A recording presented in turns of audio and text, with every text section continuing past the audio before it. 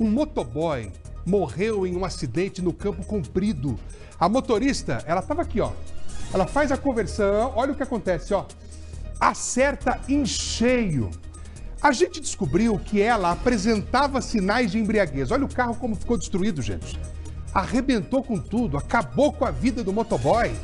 Ela foi presa em flagrante e o balanço geral acompanhou o drama dos bombeiros, da polícia, para poder tentar salvar a vítima desse motoboy. Olha como foi.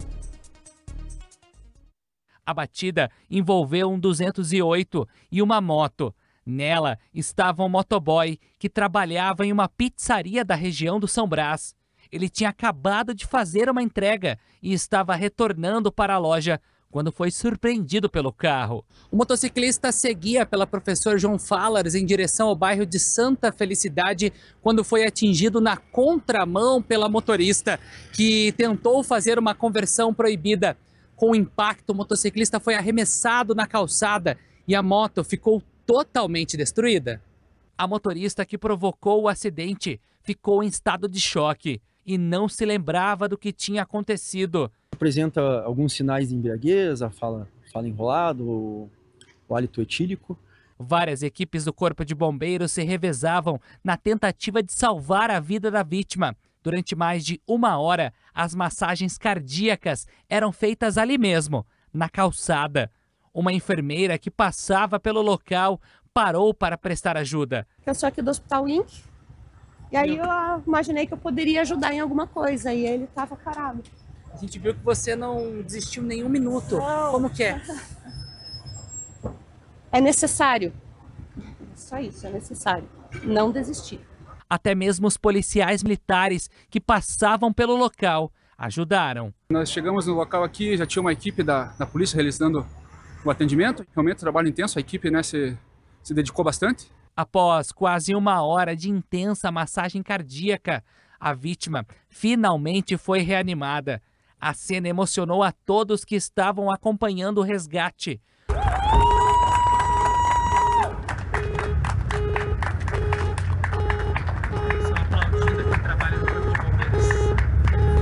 Mas dentro da ambulância, novamente o motoboy entrou em parada cardíaca. Ele foi levado para o hospital evangélico em estado gravíssimo.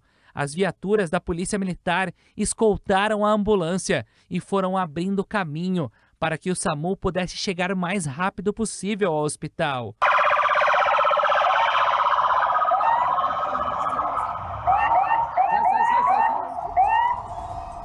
Nossa, que imagem, que imagem chocante. Olha só como é que ficou esse carro.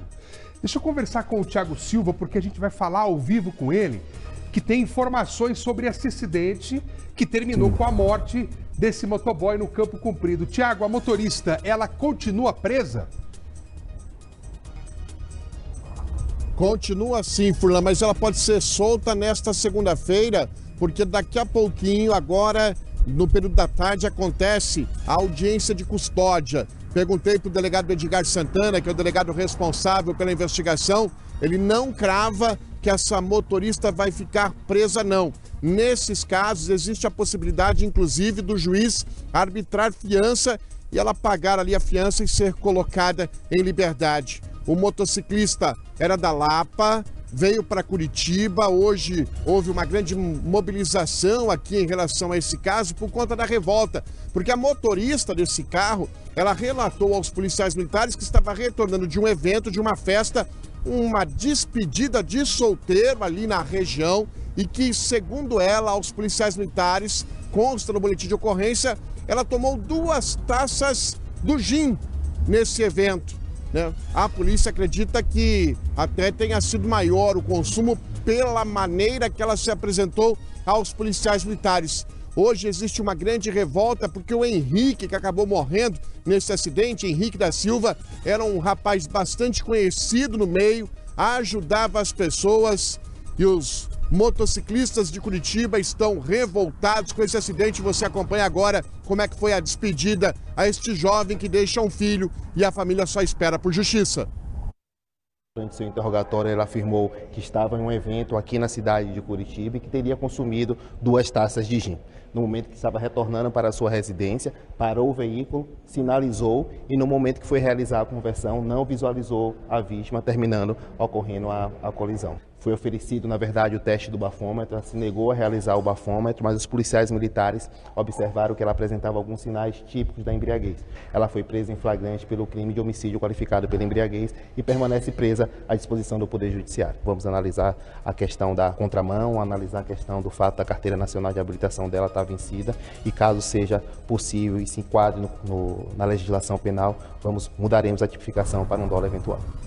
Esse então é o delegado Edgar Santana, responsável pela investigação. A gente conversou com a família. Ainda hoje a gente vai mostrar a revolta dos familiares em relação a este acidente. Ela estava com a carteira suspensa e também com a documentação do carro toda errada, né? O carro foi levado ao pátio do Detran aqui na capital e fica essa expectativa. Daqui a pouquinho, às duas horas da tarde, Furlan tem a audiência de custódia.